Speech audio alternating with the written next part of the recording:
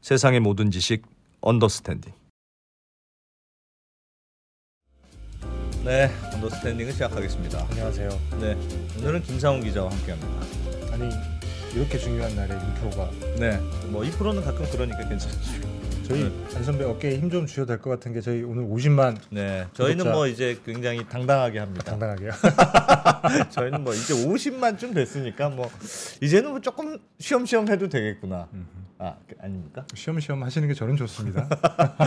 제발 좀 네. 시험시험 하시죠. 언더스탠딩도 이제 50만. 그 어제도 그 구독하지 말라고 하셨는데도 굳이 또 하- 해주셔가지고 네. 네 감사드리고 감사드립니다. 아, 네 50만 하여튼 고맙습니다. 여러분들이 많이 좋아해 주셔서 음. 아, 그래도 빨리빨리 크고 있습니다. 자 오늘은 진짜 심각하고 중요한 얘기를 할 겁니다. 매우 중요한 문제죠. 음, 의대 정원 의사들 문제인데 의료 문제. 네, 의사 수를 뭐 정부의 방향은 하여튼 의대 정원을 좀 늘려서 의사 수를 좀 키우자 뭐 이런 방향으로 가고 있는 것 같은데 뭐 다 대체로는 동의하는 문제이긴 합니다만 음. 과연 그냥 숫자만 늘려서 과연 이게 될 문제냐? 그렇죠. 음. 사실 제가 궁금했던 것 중에 하나가 아니 우리가 그 교육 문제 되게 예, 심각하다고 하지만 음. 교대 정원 늘려서 해결하자라고 하는 얘기는 사실 없잖아요. 음, 그 하여튼 음. 중요한 문제는 해결이 안 돼. 그래서 또 언더스탠딩 이것도 가만히 있을 수가 없다. 네. 우리는 좀 욕을 먹더라도 이런 얘기를 좀 심도 있게 해봐야 되겠다고 해서 오늘도 어, 고려대학교 의과대학의 박종원 교수님 모시고 또 이분이 또그 우리나라 의료 정책에 대해서 고민이 많으신 분이니까 그렇죠. 어, 고민 진짜 많으시거든요. 쓴소리. 저한테 가끔 전화해서 큰일이다 우리나라가 이런 말씀하시니까 오늘 모셔서 의료 의사 정원 문제 예, 이 문제 좀 심각하긴 하고 예민한 문제긴 한데 좀 허심탄회하게 한번 아, 얘기 나눠보도록 하겠습니다. 잠시 후에 시작하겠습니다. 네, 아, 자 의사 관상 아 감사합니다. 제 인생에서 가장 큰 칭찬. 관상이 의사다. 그 관상이 의사라니네. 참 진짜 듣다 듣다가 좀 감사합니다. 아무튼 자 박종 교수님 모셔보겠습니다. 어서 오십시오. 네 안녕하세요. 안녕하세요. 네, 교수님 아유 오랜만에 뵙겠습니다. 오랜만입니다. 네. 스튜디오가 좀 좋아졌죠? 어유.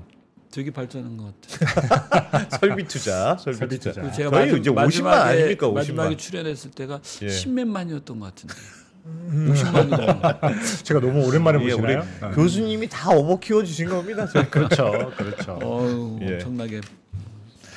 오늘은 진짜 심각한 얘기를 할 건데 네. 의대 정원을 지금 늘린다는 쪽으로는 계속 발표는 되고 있는 것 같습니다. 네. 의사들은 여전히 좀 반대하고 있고. 네. 어. 근데 하여튼 국민들은 그래도 의사 수를 좀 늘려야 되는 거 아니냐. 좀 작은 것 같다 아무리 생각해도. 예. 대체로는 그런 여론인 것 같아요. 압도적이죠. 어, 어떻게 일단 정원을 늘리긴 늘려야 되겠죠.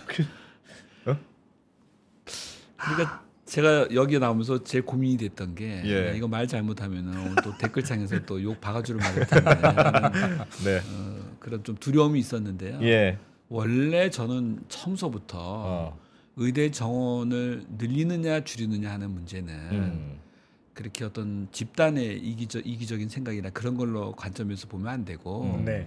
대한민국 사회에 어떤 게 유리한 방향인가 우리 네. 사회 그 긍정적인 면이 뭔가 거기에 따라서 결정이 돼야 되는 문제라고 봤는데 음. 뭐 지금 봐서는 그래서 저는 굳이 의대 지원 의대 입학 정원을 늘리는 거를 굳이 그동안에 반대하지는 않았어요. 음. 예. 음. 예. 다만 어떠한 방식으로 어떠한 목적으로 어느 정도 규모를 늘리느냐에 대한 담론이 없다라는 것 때문에 음. 고민을 했던 거지. 음. 뭐 필요하다고 하면은 뭐 늘려야 되는 건 당연하죠. 그렇죠. 그렇죠. 예, 그래서 예. 저는 오늘 이제 전제가 여기서 뭐 의대 정원을 늘리면 안 된다. 뭐 그런 음. 얘기를 하는 것은 아니고 예.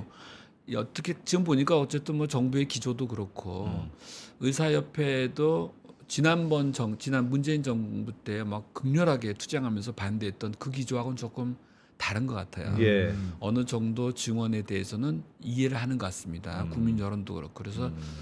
뭐 늘린다는 전제 아래 음. 한번 우리가 무엇을 고민해야 될지 음.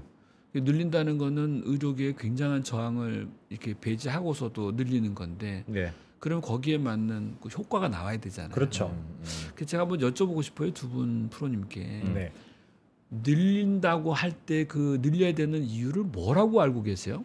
그 많은 분들이 우리가 지금 음. 음. 겪고 있는 의료 문제의 근본적인 원인이 네. 의사가 너무 그러니까 그 근, 적다. 근본적인 문제가 뭐라고 근본적인 생각하세요? 문제는 보통 이렇죠. 그러니까 이 의대 정원 문제가 나온 거는 네.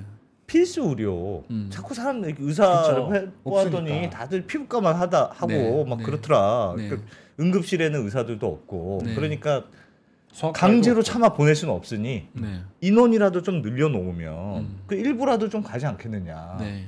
뭐 그런 취지인 것 같습니다. 그 제가 봐도 한두 가지 문제 같아요. 하나는 이제 필수 중증. 저는 필수 의료란 말은 안 좋아해요. 예. 누가 장명했는지 모르는데 음. 의료에서 필수가 아닌 의료는 없죠. 다 음. 필수적이죠. 그렇죠. 다만 중증 의료. 음. 아, 말씀하시는 게 아마 지금 중증 의료일 거예요. 그렇죠. 예. 중증 의료 를 이제 기피하죠. 지금의 젊은 의사들이. 음. 맞습니다. 그리고 또 하나는 지금 지역 지방 의료가 완전 히 붕괴돼 가고 있어요. 그렇죠. 아, 그, 그것도 문제고. 지금 심각합니다. 예. 저 지방 대학들은 지금 뭐 의료 인력이 없어 가지고 지금 난리예요. 음. 근데 이런 그 지방 의료가 무너졌다고 해서 지방의 의사들이 없고 뭐, 뭐 개원이가 없고 그런 얘기는 아니에요. 요 예. 얘기랑 또 아주 일부 어떤 군 단위 지역에 의사가 없다. 이 얘기는 또 좀 다른 얘기 같긴 같아요. 네. 어쨌든 지방에 있는 지역 의료가 지금 붕괴돼 가고 있고 음. 중증 의료를 기피하는 이 현상을 의사 숫자가 부족한 것에서 그 원인을 찾고 있다라는 그 얘기 같아요. 음. 그렇죠. 그렇죠. 예. 예. 예. 근데 그런 얘기를 좀 하면서 음. 과연 진단은 제대로 된 건지 어쨌든 뭐 음. 진단이 제대로 안 됐다 손 쳐도 예. 만약에 늘린다면 어떤 부분을 우리가 고민해야 음. 지금의 이러한 문제점들이 해결이 될 수 있는지 그런 얘기를 오늘 좀 해보려고 알겠습니다. 하는 건데 예. 그 사실 중증 의료 지금 일- 인력이 모자란다고 그러고 음. 있는데요. 실제로는 뭐 흉부외과 의사나 그 외과 의사 숫자는 모자라진 않아요. 아, 아 근데 그래요? 대부분의 의사들이 예. 그 분야에서 활동을 안 해요. 아, 그럼 그게 어디 문제야. 어디가 있습니까? 그럼. 다 다른 거 하고 있죠.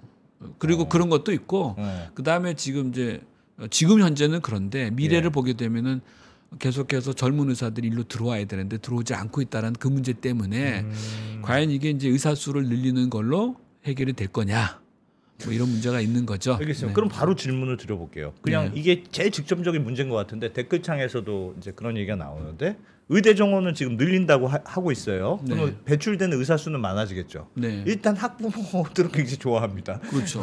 아, 우리 아들 의사 갈 수, 의대 갈 수 있겠네. 이건 그렇죠. 일단 좋아하는 여론은 뭐 그렇다 치고 음.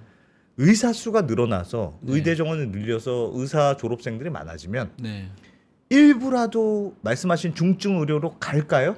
정말 우리가 의사 숫자가 정말 적을까 예.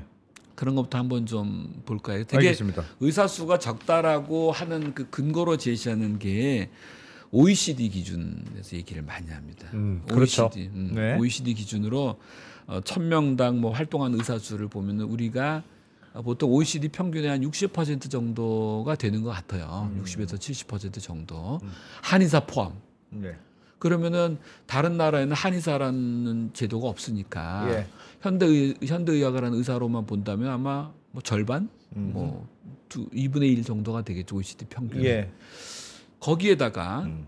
어, 우리나라 병상 수가 그럼에도 불구하고 OECD 평균의 3배의 병상 수가 병상수는 많고 3배. 아, 그러면은 의사가 모자라는 거는 6분의 1이 돼야 되지 않을까요? 그러네요. 그렇죠. 그렇죠. 1인당 진료가 많이 하는 모양이네 우리나라는. 그렇죠. 어. 우리나라 의사가 어. 얼추 보니까 그리고 우리나라 환자들이 병원을 방문하는 횟수가 유럽에 비해서 한 7배, 8배 정도 돼요. 와. 그럼 도대체 우리나라 의사 수가 모자라다 모자라 생기는 문제들, 어. 그러니까 어, 환자들이 겪는 그 불편함은 어. 이미 오래전에 터졌어야 되는 건데 예. 그렇죠. 지금까지 우리가 그런 불편함을 못 느꼈잖아요. 그렇죠. 의사가 없어가지고 뭐 제때 내가 감기 치료를 못 받고 그런 거를 받으신 적은 없잖아요. 무릎이 아픈데 진료를 못 받고 그런 적이 없잖아요. 그 최근에 이유. 터지는 문제들. 최근에도 중증만 중증만. 중증 의료만 그렇지 뭐 지금도 뭐 동네 병원에 가서 진료 받는 음. 거에는 아무 문제가 없죠. 예. 예. 그러니까 중증에 국한해서 그런 건데 어. 과연 OECD 기준으로 이 보는 게 이게 맞는가? 왜 그러냐면은 에, OECD 기준에서의 맹점이 뭐냐면 국가마다 의료 체계가 너무 달라요. 그렇죠. 음, 예를 들면요. 예를 들면은 이제 영국 같은 경우는 예. 공영제, 국가 공영제, 정부가 세금으로 합니다. 의사들은 다 공무원이에요. 예, 어. 일반 재정에 뭐 정, 완전히 공무원이라기보다는 음. 어, 영국은 어떻게 하냐면은 지역별로 이렇게 인구 몇 명당 의사 한 명씩을 이렇게 꽂아 넣어줘요. 예. 그렇게 하고 그 의사가 보는 거는 그 지역에 있는 환자들만 보게 되죠. 음. 지역에 따라서 안 변하죠. 예. 그러면은 당연히 우리나라보다 의사 수가 두세 배가 많고 음. 그다음에 필수 의료로 가, 가냐 안 가느냐 하는 거는 정부에서 통제하니까 그 해결되고 음. 그다음에 전국에 걸쳐서 의사가 없는 곳이 없죠. 예. 그러니까 의사 수가 많죠. 아무래도 어, 정부가 운영하는 제도니까. 예. 그런데 영국의 의료 있잖아요. 최악이라 그러거든요. 뭐 의사 만나기가 별따기 그러니까. 꽤 많은데 왜 이렇게 별따기 지역이? 영국과 호주 이런데 우리 예. 교민들이 그 사는 그 교민들이 한국에 오면은요. 예. 여기서 모든 그 동안에 자기 아팠던 걸 다 치료받고 가려 고 그래요. 예. 왜 의사 수가 우리보다도 몇 배가 더 많은데 예. 왜 그러냐? 그거는 그러면 그 제도가 나쁜 제도냐? 그건 아니라는 거예요. 음. 뭐냐면은 그 나라가 취하고 있는 의료 시스템에 따라서 예. 적정 의사 수가 계산이 돼야 되는 거지 음. 단순하게 OECD 평균으로만 계산할 수는 없다라는 거죠. 음. 만약에 지금 음. 의료 수가가 이렇게 낮 이렇게 낮으니까 의사들이 OECD 국가들보다도 10배나 일을 더 한다는 더해서 네, 이렇게 네. 의료가 유지가 되고 있는데 예. 예. 그런 점이 고려되지 않는다면은 뭐 이런 말하면 적절할지 모르지만 음. 전 세계에서 OECD 기준으로 의사가 제일 많은 나라가 어딘지 아세요? 어디입니까? 그게 되게 공산 국가들이에요. 아. 응? 아. 음. 아 그렇게 따지면 그 나라들이 선진국이라고 우리가 할 수 있냐는 거지. 음. 그렇지는 않잖아요. 음. 그래서 물론 오케이 음. OECD 평균에 비해서 우리나라가 의사 수가 적다. 오케이. 음. 음. 뭐 그럼 뭐 충분히 고려할 만하긴 하지만 그것이 절대적인 수치가 될 수는 없다. 그러면은 음. 우리가 타겟수라는 게 OECD 국가 평균의 의사 수를 목표로 하는 거냐. 음. 그렇게 따진다면 병상수도 OECD 평균으로 하려면 지금 3분의 1로 내리쳐야 되잖아요. 네. 환자들이 OECD 평균보다 8배나 더 병원을 방문하는 걸 8분의 1로 줄여야지. 음. 음. 그렇지 않겠어요? 근데 그렇게 할 수는 없는 것이 의료는 하나의 그 사회의 문화란 말이에요. 네. 물론 이제 그 문화 속에는 우리가 우리 정부가 어, 취하고 있는 어떤 정책의 문제도 있죠. 네. 미국이 OECD 평균이 우리랑 비슷해요. 음. 음. 미국이 에, OECD 기준으로 볼 때 우리나라하고 의사 수가 되게 비슷합니다. 음. 그럼 이건 어떻게 볼 거냐? 그걸 미국 의료 미국에서 의사 수 모자란다고 좀 난리가 났느냐? 음. 그렇지 않다는 거지 또 이게. 그래서 의사 수 부족으로 지금 우리가 겪고 있는 모든 문제점들을 해결할 수는 없다. 이걸로 해결하고 여기에 원인이 원인을 둔다라고 하면은 음. 우리가 또 다른 실수를 할 가능성이 많다는 거죠. 음. 결국 우리가 원하는 그 방향의 문제는 긍정적으로 해결이 되지 않고 지속 가능한 방법으로 해결이 되지 않고 예. 그 문제는 여전히 남고 남게 된다는 그런 말씀을 드리는 거예요. 음. 그러면 의사 정원을 확대를 하고 다른 제도들을 고쳐서 문제를 해결할 수도 있는. 아니 근데 질문이 있습니다, 음. 그, 그 교수님. 그 그거는 맞는 말씀인 것 같아요. 근데 이제 그렇 그럼에도 불구하고 어쨌든 의사 수가 많아지는 것 자체가 네.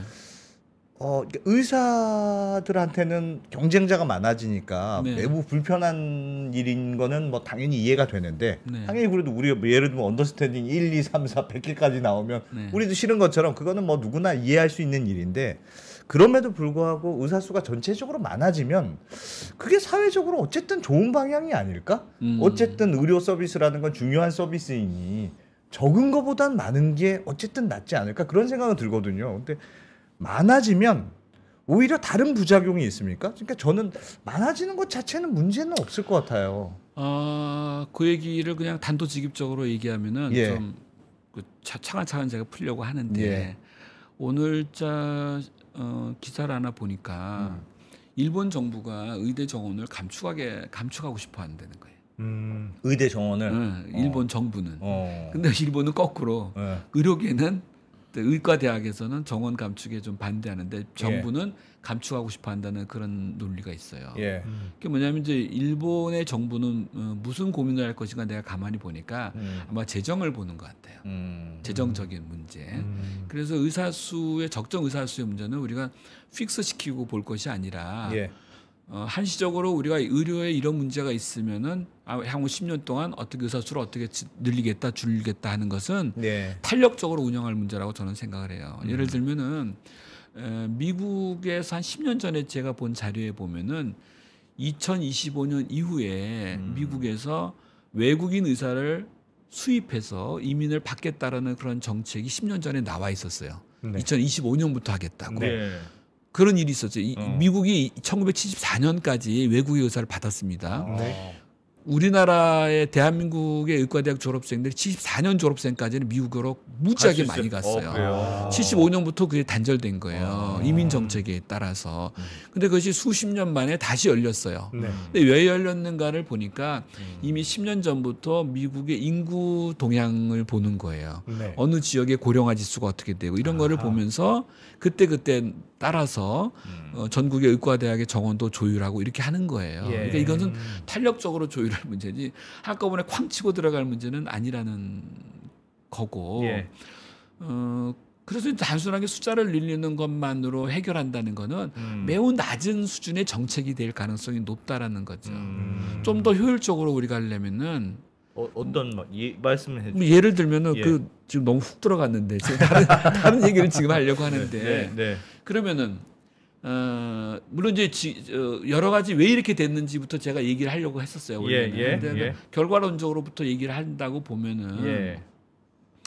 이렇게 된 게 언제부터 이렇게 됐냐면 2000년부터 이런 조짐이 보이기 시작했어요. 2000년부터 네, 우리나라도 예. 2000년부터 이 중증 의료에 대해서 어, 좀 기피하는 현상들이 좀 보이기 시작했어요. 예. 그리고 2010년 들어서 그 현상이 이제 노골화되기 시작을 했고 음. 결정적으로 어, 어떻게 소아청소년과 이런 문제에서 특히 2017, 2017년에 예. 그렇죠. 이게 아주 심각한 문제로 대두되기 시작을 했는데 음. 그 기점 기점마다 어떤 원인들이 있었을 거 아니에요, 그렇죠? 예. 그렇죠. 그 원인들을 살펴보면은 우리가 거꾸로 아 그럼 이거를 해법. 워- 원래 원래의 우리나라의 건강했던 의료로 돌릴 수 있다라는 걸 생각해낼 수 있다라는 건데 예. 거꾸로 생각을 해보면 1990년대까지는요. 음. 지금 우리가 생각하는 필수 중증 의료라고 하는 분야들은요 정말 엘리트들이 갔습니다. 어. 음. 정말 엘리트들이 갔어요. 예. 어. 예를 들면 내과 같은 경우 있잖아요. 어, 어. 지금 내과 별로 인기 없거든요. 네. 어, 인기 없어가지고 4년을 3년으로 줄였어. 음. 아. 이것도 심각한 문제예요. 음. 공부할 건 훨씬 많아졌을 거 아니에요. 90년대에 비해서. 예. 그렇죠. 근데 수련 기간을 3년으로 줄였다니까. 어. 1년이라도 줄이면 애들이 좀 올 것 같아서. 음. 뭐 이런 식이 된 거죠. 그러면 예. 어떻게 되겠어요? 질적으로 떨어졌겠죠. 예. 그럼 90년대의 의사들은 왜 그렇게 어려운 과를 지- 지원하려고 했을까? 그러게요. 그때는 사명감이 높았습니까 의사들이? 그러니까 그때 의사들은 사명감이 높고 어. 지금의 의사들은 사명감이 없는 어, 거냐. 없는 거냐. 물론 약간의 그런 면도 좀 있긴 있겠지만 이게 사회 예. 문화적인 면이 있, 있었다는 거죠. 음.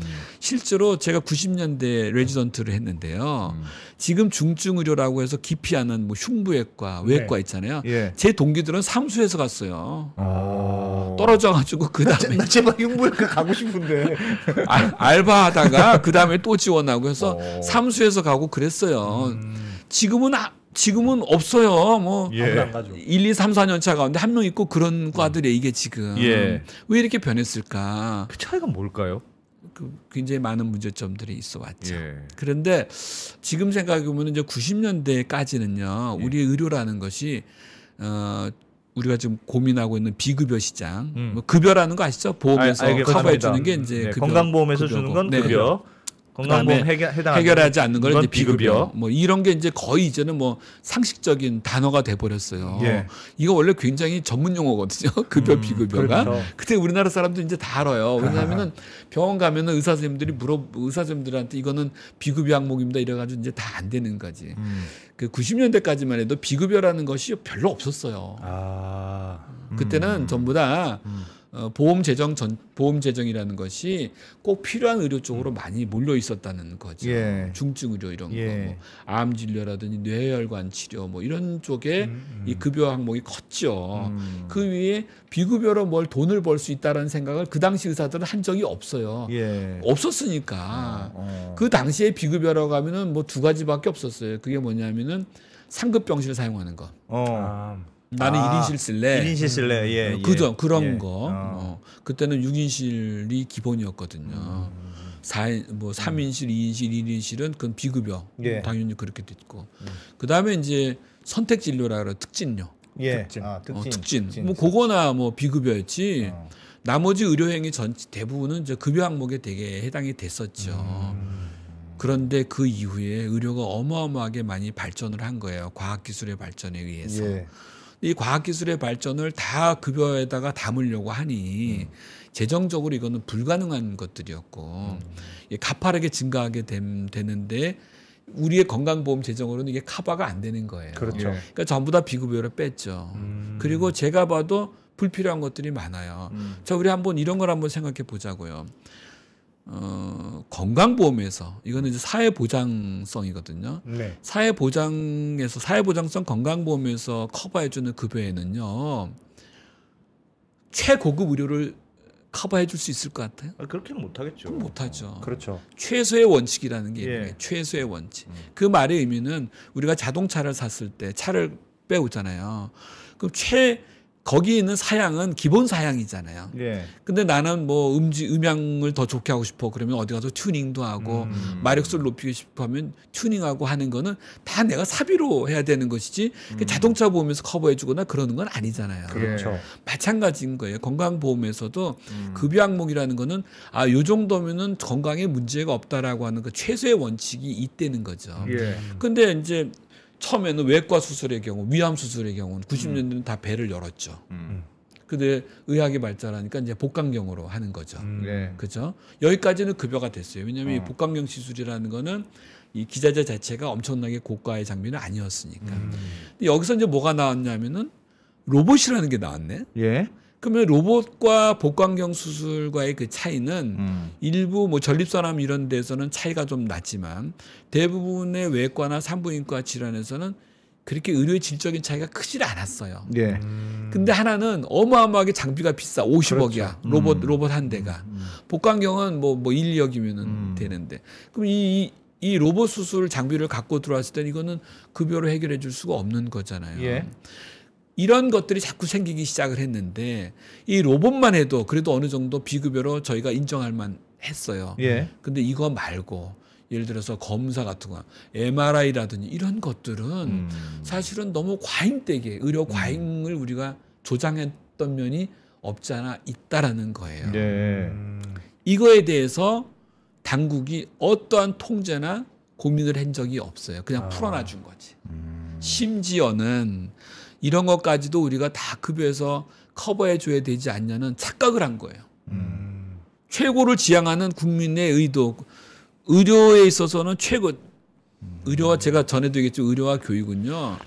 그 니즈가 한도 끝도 없습니다. 그렇잖아요. 좋은 거 기본권이라고 계속, 생각을 좋은, 좋은 거. 계속 받고 싶죠. 그렇잖아요. 이거, 이거 받으면 더 좋은 게 있고. 있으면 하고 싶은 거예요. 어. 없으면 못 하는 거지. 예. 그런데 없는 사람의 입장에서 보니까 있는 사람만 저걸 해? 어. 그럼 국민적 불만이 되잖아요. 예. 그러니까 정치인들에게는 이것이 고민거리가 된 거죠. 음. 그럼에도 불구하고 미래의 의료를 본다면은 그런 것들이 포퓰리즘으로 가지 못하게 어느 정도 제동이 걸렸어야 되는데 음. 이거를 볼 줄 알았던 당국자가 없었는지 아니면은 음. 알면서도 할 수 없이 끌려갔는지 모르지만 지금의 우리나라의 의료는 과잉 진료와 과잉 의료 소비가 만연돼 있는 시장으로 가버린 거예요. 예. 여기서 중증 질환들이 되게 급여 항목으로 묶여 있는데 이 사람들은 그 자리에 남아 있는데 아. 비급여 시장이 어마어마하게 커진 커지니까 거죠. 중증에 있으면 의사들이 돈을 못 버는군요. 그러니까 지금 구조는. 전혀 못 벌죠. 아. 전혀 대접도 못 받고. 아. 그죠? 어, 그런 상황이 된 거죠. 그럼 그분들이 돈을 벌 수 있는 구조를 만들어줘야 되는 거 아닙니까? 수가를 올려요. 어. 아, 물론 이제 수가 수가 문제도 나오긴 어. 하죠. 근데 그냥 단순하게 그 수가를 올려주기가 어려운 게 예. 우리나라 건강보험 재정은 그 어, 수가 구조는 되게 이상해요. 어. 전체는 딱 정해져 있어요. 전체 파이는. 아, 써- 썸은 거- 썸은. 썸을 정해 썸을 예. 정해놓고 예. 얘네가 필요하다면 여기 올려주면 어디선가 후려치는 거예요. 그러니까 아. 이게 풍선 효과인 거예요. 여기 올려주면 여기가 그런 효과가 되기 때문에 그렇게 수가를 뭐 이쪽에 올려준다 이게 쉽지는 않습니다. 그렇게 되면은 이게 재정서부터 다시 들여다봐야 되는 문제가 발생을 하거든요. 와. 그게 단순치가 단순하게 그렇게 되질 않아요. 제가 아까 왜 말씀드렸잖아요. 예. 그러면은 미국에서는 어.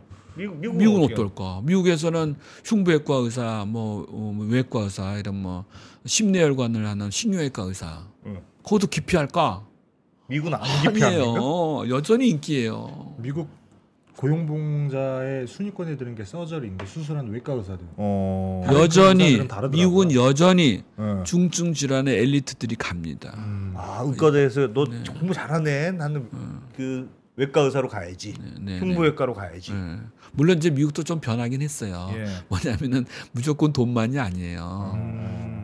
미국에 가 미국에 있잖아요. 그, 그 장기 이식 같은 거는 예. 굉장히 고달프거든요. 어. 언제 장기가 뜰지 모르고. 어. 그러니까 이건 24시간 스탠바이 하는 의사들이에요. 음. 여기는 사실 어 백인들이 많이 지원하네요.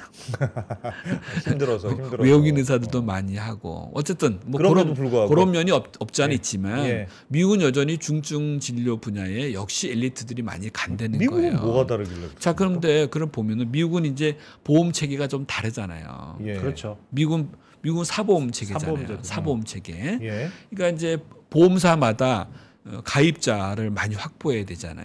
예. 그렇죠. 음. 그러니까 이게 보험사가 가입자를 많이 확보하려면은 동일한 의료 서비스를 제공하더라도 보험료가 낮아야 될 거 아니에요. 음. 예.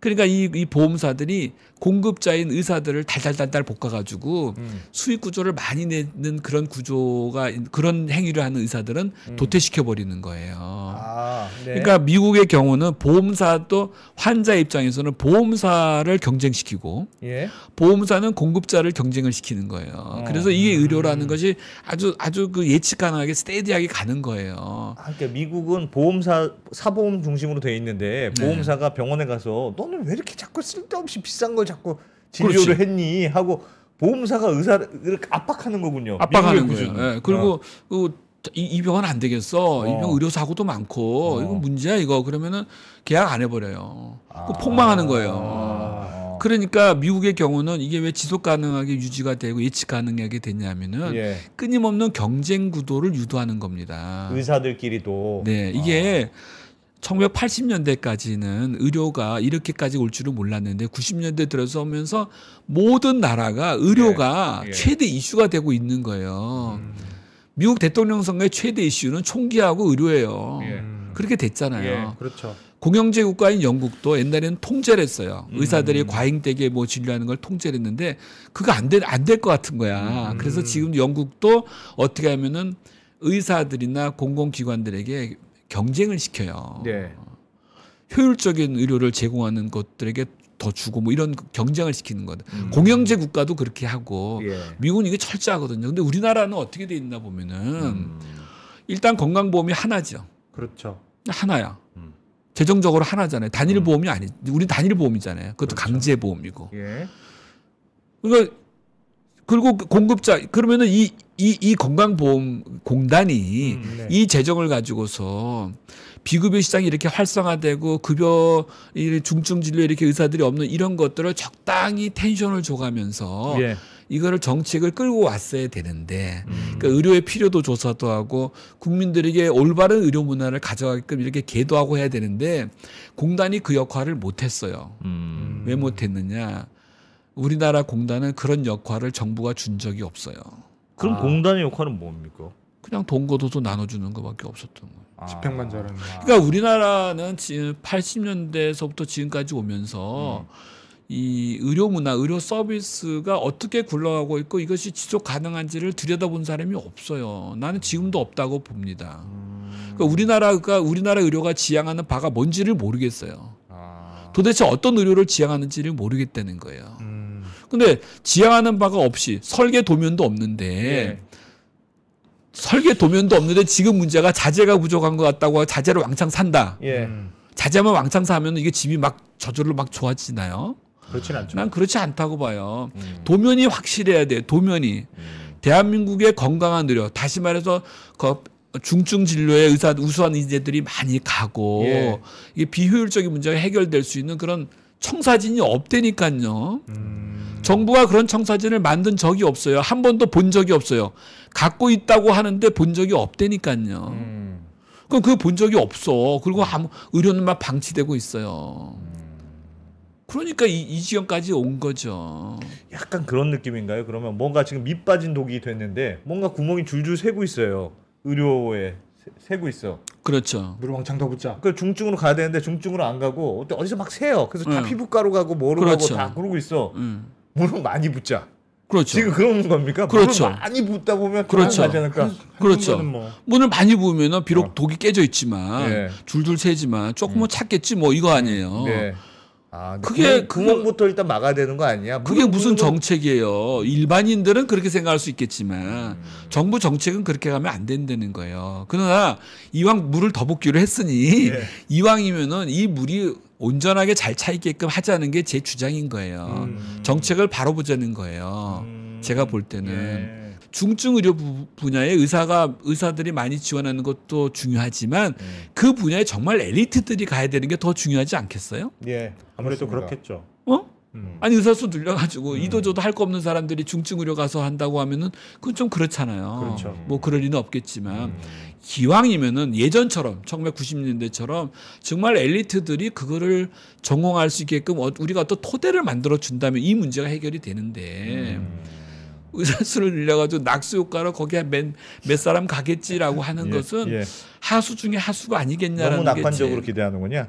약간 그렇지. 이렇게 이런 이런 질문을 드려보시. 지난번에도 제가 비슷한 질문 한번 드렸었는데 맞는 말씀인 것 같아요. 그러니까 네. 지금의 구조를 그대로 두고 사람만 늘었을 때 과연 자동으로 중증 치료로 과연 많이 갈 수 있겠느냐. 네. 뭐 그런 어, 질문이 남는 건 맞는 것 같은데 그럼에도 불구하고 예, 지금의 문제는 예를 들면 피부과로 많이 가지 않습니까? 뭐 네. 피부과로 꼭 피부과는 아니지만 하여튼 예를 들어서 네, 피부과 네, 네, 네. 뭐 사람들이 다 피부과를 해서 뭐 성형 수술하고 막 하는 병원만 잔뜩 늘어나는 거예요. 그러면 지금의 문제는 의사들이 의대를 가서 피부과 가서 개원해서 성형 뭐 쌍꺼풀 수술하고 하는 게 돈을 많이 버는 구조니까 그렇게 막 다 개원을 하는 건데 사람이 많아져서 그런 사람이 많아져요. 아 그럼 이 시장도 너무 박 터지는구나.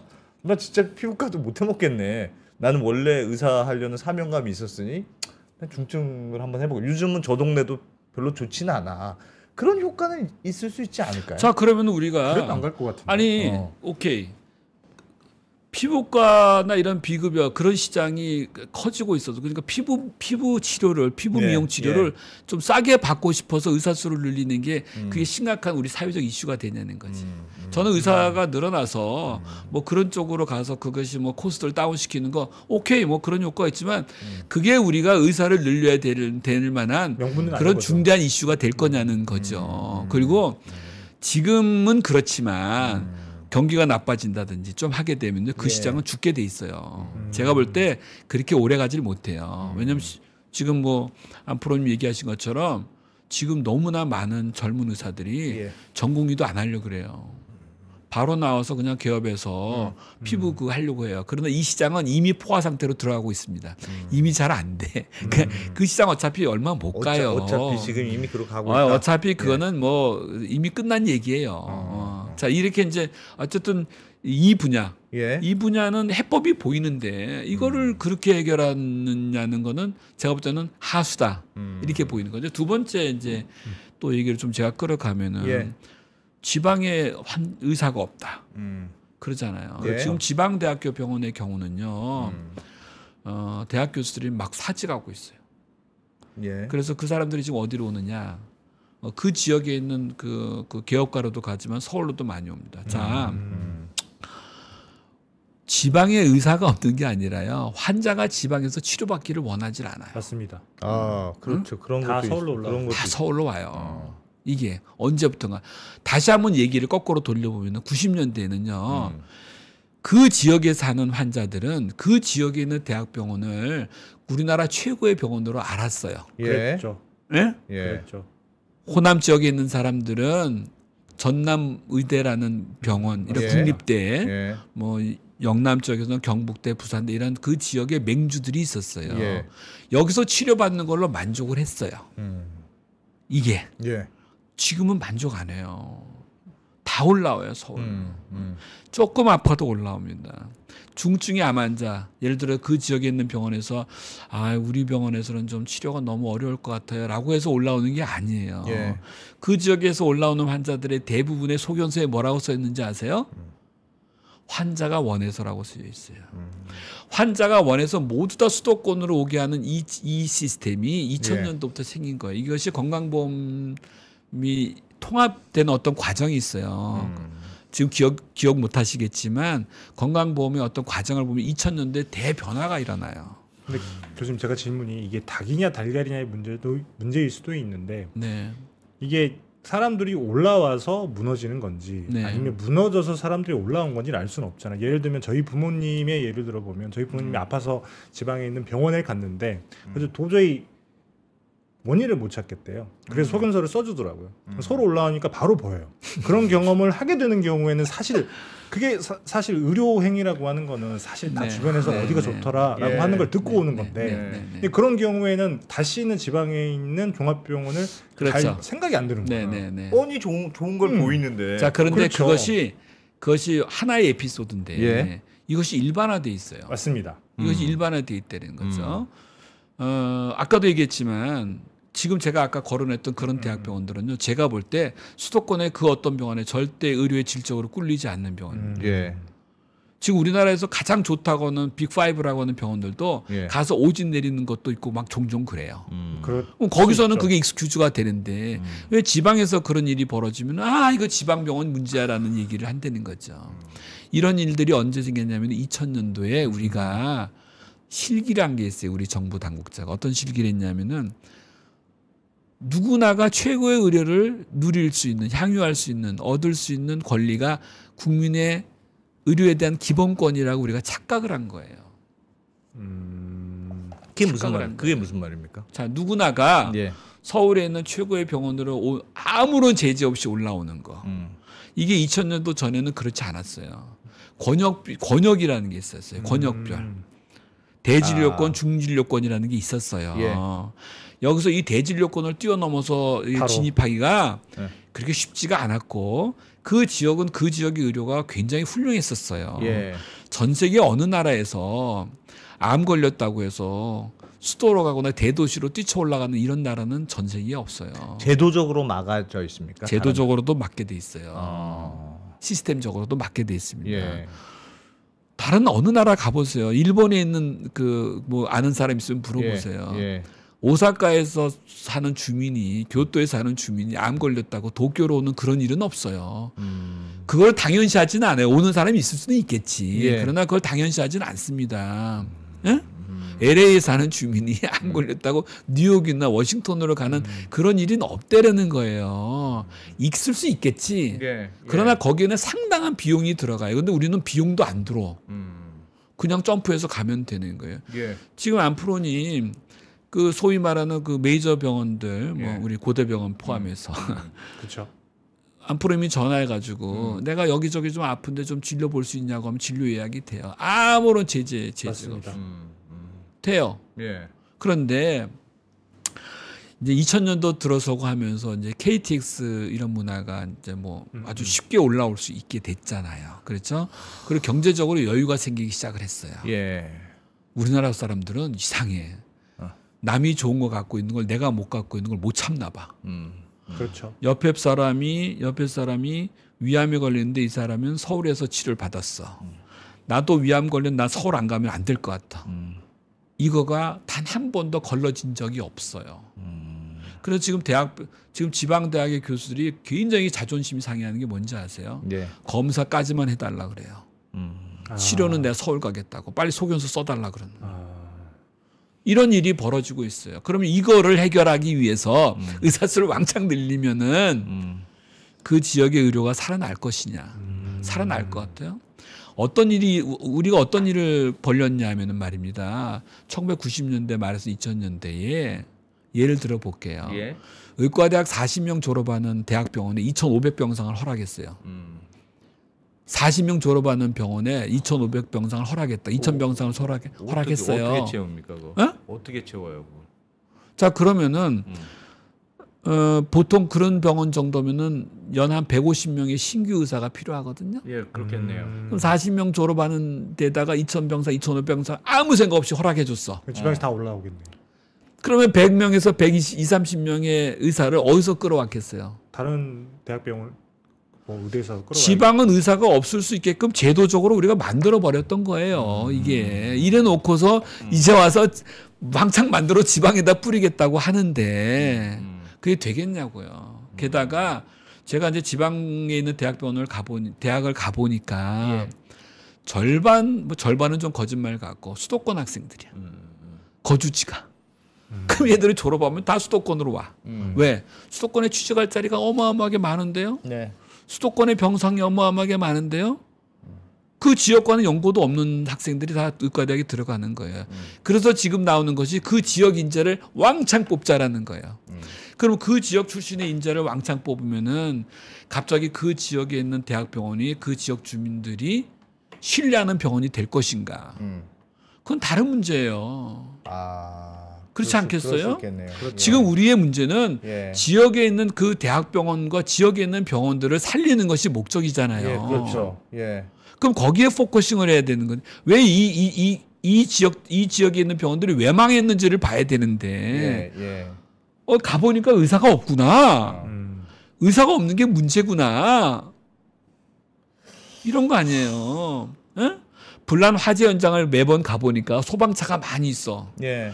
야 불이 나는 원인은 소방차가 원인이구나. 소방차 없애 어, 어. 그런 거하고 뭐가 다르냐? 뭐가 달라요 이게? 가보니까 의사가 없어. 음. 야 의사가 없으니까 이게 어, 지방 의료가 무너지고 있구나. 의사가 없는 게 아니라 환자가 없어요 지방에 그럼 아니 이- 우린 이게 이게 의료만의 문제는 아니잖아요 다 서울 와서 살고 싶어 하잖아 그렇죠. 그, 무- 그 근본적인 문제가 있는 것 같습니다. 근본적인 문제가 지금 해결이 안 된 상태에서 의사 수를 늘려놨을 때 이 문제가 해결될 것인가에 대한 퀘스천은 굉장히 동감해요. 근데 궁금한 건 이런 상황에서 의사 수를 늘렸을 때더 나빠질까요, 과연? 아 더 나빠지진 않겠지 어, 어. 더 나빠지진 않겠지만 네, 네. 다시 한번 얘기하지만 근본적인 문제를 먼저 해결해야 아니, 되는 거 아니냐? 밑 빠진 독이 독이 깨졌는데 깨진 거는 그대로 놔두고 어, 물만 계속 부으면은 어.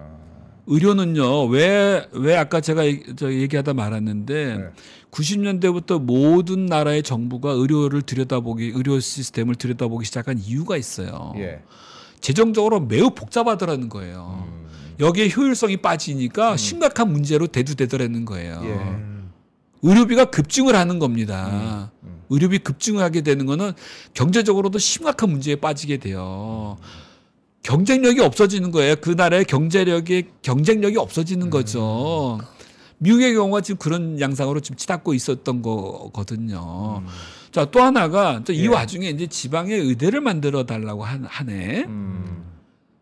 아니 지금 지방에서 거의 100년 된 전통 있는 의과대학도 못 믿겠다고 하는 판국에 신설 의대 만들면은 거기에 가겠냐고. 어. 가겠어요? 어.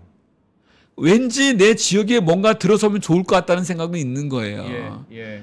공항 사용할 것도 아니면서 우리 지역에 공항 들어서면 뭔가 좋을 것 같아. 그 유령 공항 만든 거 아니에요. 예, 근데도 예. 지금도 공항 만들어 달라고 아주 또 아우성이잖아요. 예. 누가 이거를 조장하면 저는 정치인들이 조장한다고 봐요. 음. 정치, 정치인들이 포퓰리즘으로 국민을 속이는 거라고 저는 봐요.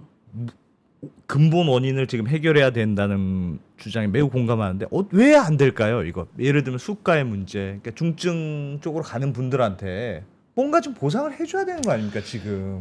굉장히 이이그왜 안 될까요? 이거? 근본적인 원인은 예. 너무나 오랜 역사를 갖고 있어요. 어. 그것이 뭐냐면은 예. 우리나라 의료의 이제 어떤 제도적인 의료로 들어서기 시작한 거는 1960년대부터 이제 고민을 하기 시작을 합니다. 예. 왜냐하면은 전 세계 어느 나라도 국민에게 의료를 의료 서비스를 제공하는 거는 기본권으로 인식을 했어요. 제2차 세계 대전 그렇죠. 이후에. 예. 예.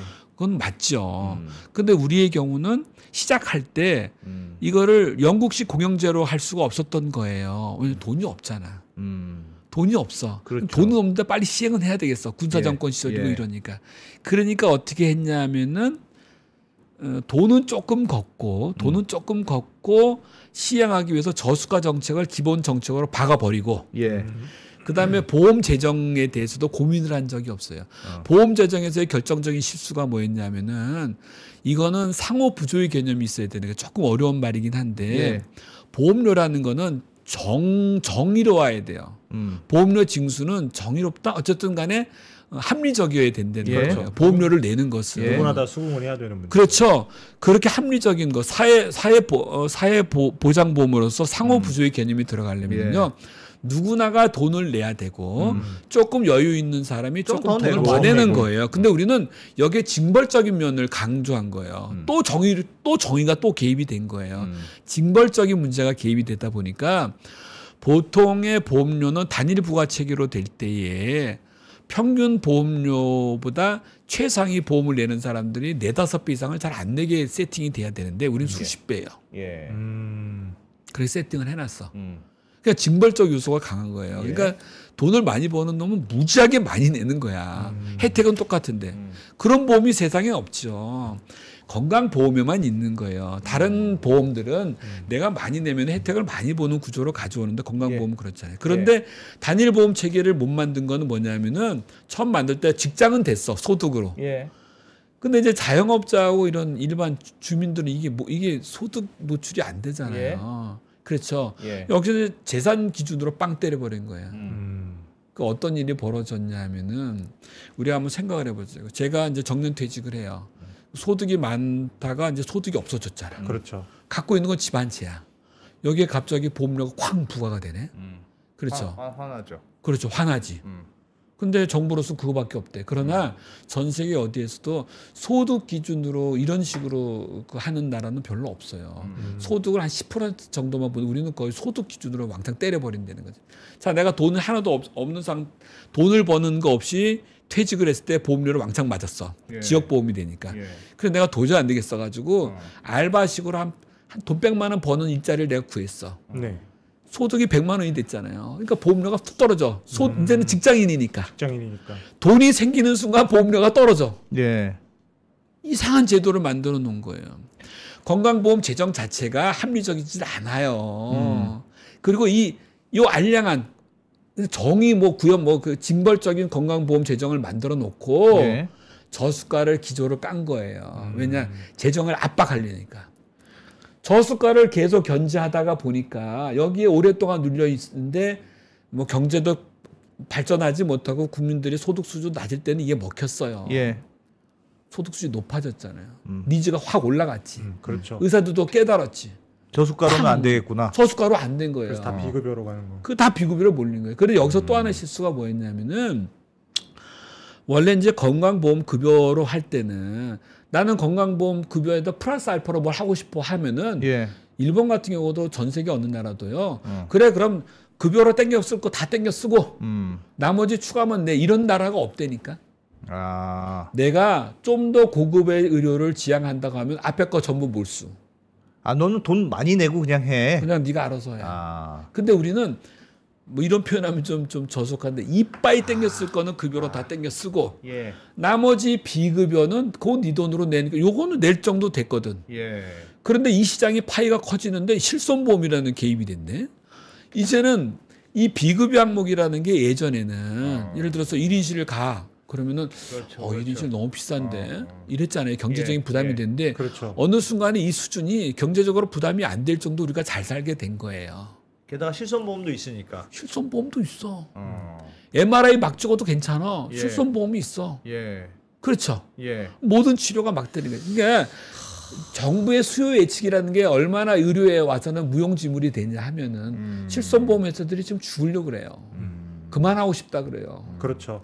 왜냐하면 손해가 너무 난 거예요. 음. 왜? 분명히 실손보험을 처음에 디자인할 때는 예. 백내장 환자가 일년에 몇 명 되는구나. 그러니까 백내장에 걸리면은 음. 요 정도 환자를 우리가 커버해 줘야 되겠구나. 그러니까 거기에 따라서 보험료가 책정이 됐을 텐데 예. 이게 실손보험이 되니까 갑자기 백내장이 뭐 몇 배가 느네? 음. 그렇죠. 수요 예측이 안 되는 거예요. 왜 그래요? 음. 전문가 집단은 수요를 창출해내요. 음. 아까 그랬죠. 의사가 많아지면 어떤 문제가 생기느냐. 수요를 창출한다. 수요를 창출해내는 거예요. 그 수요에 대한 거는 당장 내 주머니에서 나가는 것이 경쟁이 되니까 좀 쌀 것 같지만 예. 전반적인 버젯으로 보게 되면은 훨씬 커지는 거죠. 경제적으로 엄청난 타격이 들어올 가능성이 높다는 거예요. 그러니까 지금 비급여 시장은 보험으로 그러니까 의사들은 비급여로 돈을 버는 구조로 돼 있고 네. 수가는 낮으니까 그 비급여는 실손보험이라는 게 뒤에 받쳐주고 있으니 의사들은 너도 나도 비급여 항목을 많이 늘리면 돈을 많이 버- 버는 그런 구조로 만들어 놓으니까 요 구조가 그대로 이렇게 돼 있는데 의사 수만 왕창 뽑 저, 늘린다고 해서 음. 이게 그냥 알아서 그냥 쫙 정리되고 그렇게 돼요? 사회적 합의, 것 합의를? 통해서 어쨌든 중증 환자를 보는 거기는 비급여도 많이 못 받는 그런 의사들한테 조금 더 주면 많이 문제가 될까요? 그래서 그렇게 그, 그게 정답이긴 한데 예. 단순히 수가를 그렇게 그쪽으로 물려주는 게 그렇게 단순하지가 않다니까요. 음. 왜냐하면 재정서부터가 엉터리로 보험료 책정이 돼 있잖아요. 보험료 책정 자체가 예.